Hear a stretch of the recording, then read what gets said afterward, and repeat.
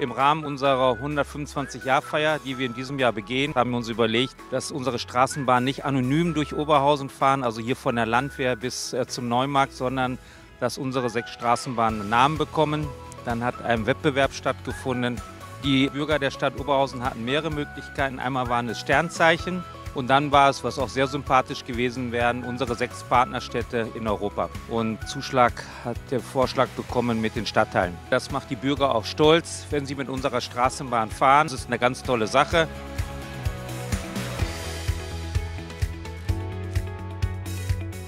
Ich freue mich sehr, dass äh, wir nach 125 Jahren ÖPNV in Oberhausen den Straßennamen quasi den Namen zu den Ortsteilen auch geben. Das ist besonders schön, dass wir die Straßennamen wirklich auch entlang der Strecke benannt haben. Von Alt-Oberhausen über Stürum, Stärkrade dann natürlich für mich besonders Osterfeld und Eisenheim.